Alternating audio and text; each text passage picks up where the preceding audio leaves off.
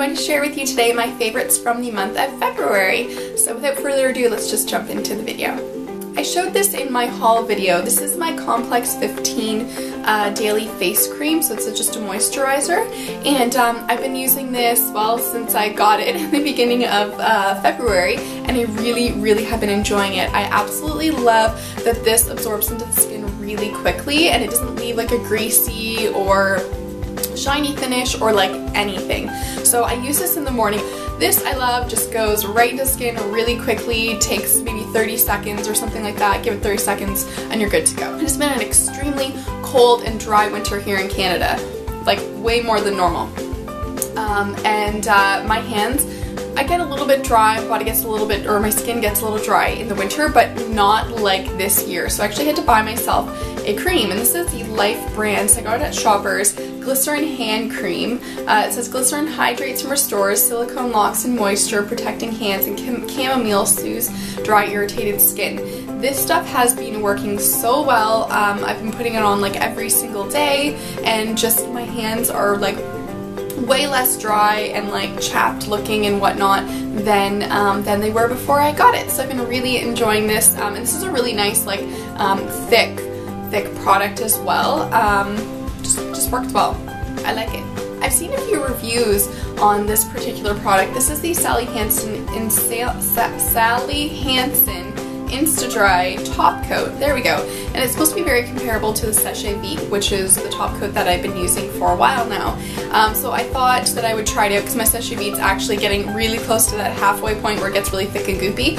Um, so I tried this out. Um, I will say I do really like it. I'll probably I'm not entirely sure if I'm going to go to Seche Vite or I'm going to use this afterwards. I do really like it. I don't think it dries as quickly um, as a Seche Vite, but it is still a very fast drying top coat. If you want to try something else out that's very comparable, um, definitely try this out. This doesn't um, shrink on your nails like the Seche Vite does.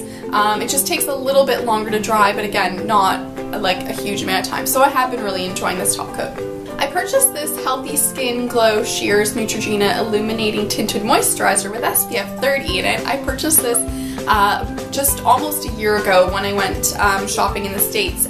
I've been having a little bit of issues here and there with my skin lately, so I've been trying to avoid using really thick foundations and stuff, so I've been using this and I've been really enjoying it. It's very sheer, so I usually put on about two coats. Um, or two applications of this um, foundation but um, yeah I've been really really enjoying it. And um, I feel like it darkens up or something a little bit throughout the day. Maybe it's oxidizing. I can't speak today. Maybe it's oxidizing. I don't know. But um, yeah I have been really enjoying this and I've been wearing it actually quite a bit. On my lips today, this is the CoverGirl Honeyed Lipstick, and this is from their new pastel line. I am not a CoverGirl fan usually of much whatever, but I saw their line of pastel lipsticks and I love them. There's so many really pretty colors, so I thought I would pick this up. Um, I've been surprised. It actually feels pretty moisturizing, not drying on the lips or anything like that.